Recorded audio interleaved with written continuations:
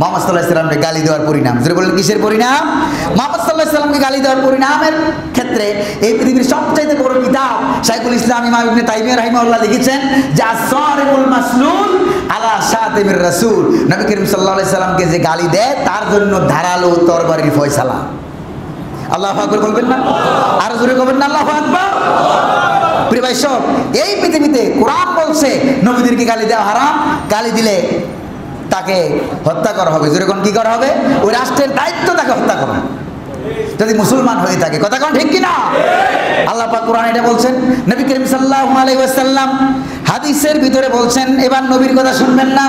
নবী করিম সাল্লাল্লাহু আলাইহি সাল্লাম হাদিসে বলছেন, মান সাব্বা নাবিয়ান কুতিলা যে ব্যক্তি যে ব্যক্তি, মান সাব্বা নাবিয়ান ফাকতুলুহু যে ব্যক্তি শুধু আমাকে না, যে ব্যক্তি যে কোনো নবীকে গালি দিল, ওই রাষ্ট্রের দায়িত্ব হলো তাকে ধরে হত্যা করা। জোরে কোন সুবহানাল্লাহ। আর কি? ওমান সাব্বা ফাজলিদু। আর যে ব্যক্তি আমার কোন সাহাবীকে গালি দিল, রাষ্ট্রের দায়িত্ব হলো তার ধরে পিটানো। কথা কোন সে কিনা?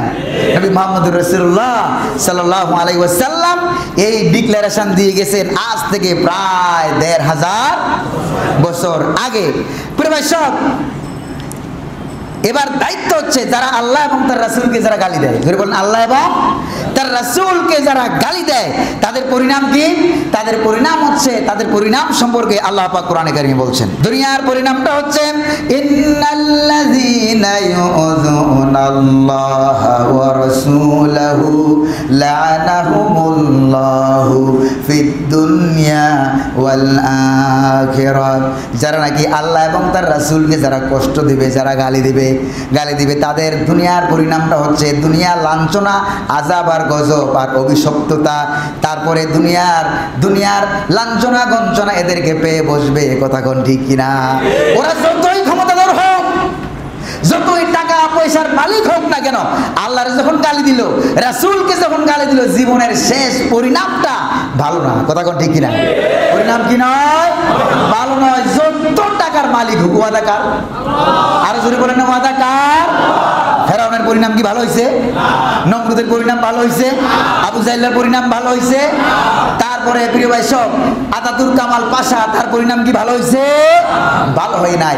অনুরূপ ভাবে যারা এগুলোকে মেনে নিবে, সৎ কাজে সৎ কাজে, অসৎ কাজে যারা বাধা প্রদান করবে না। তাদের পরিণামও কি নয়? ভালো না এই জন্য আমরা বিচার চাই গণপ্রজাতন্ত্রী বাংলাদেশ সরকার। মুসলমান সরকার। কথা কোন ঠিক কিনা? ইসলামী সরকার, মুসলমান সরকার। এই জন্য তিনার কাছে আমরা প্রতিটা মসজিদ থেকে, তারপরে তারপরে বাংলাদেশের প্রতিটি হক দরবার থেকে প্রতিবাদ জানানো হয়েছে। কতক্ষণ জানানো হয় কিনা বলে মিছিল, মিটিং, তারপরে মানববন্ধনের মাধ্যমে আমরা প্রতিবাদ জানিয়েছি। আজকেও পবিত্র জুমার দিনে প্রতিবাদ জানাই প্রতিবাদ জানাই যে তাদেরকে ধরে জনসম্মুখে ইসলামী শরীয়তের আইন অনুযায়ী সংসদ ভবনে ব্লাসফেমি আইন পাশ করে তাদেরকে মৃত্যুদণ্ড দেওয়া হোক, যারা আমার রাসুলকে গালি দেয়, সে যেই হোক না কেন।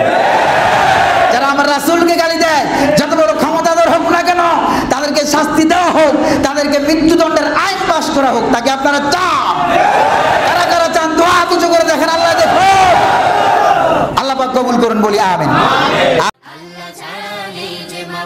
সৃষ্টিকুলের মাঝে চিরজীবী তিনি সবার ধারক যেন তাজে। আল্লাহ ছাড়া নেই যে মাবুদ।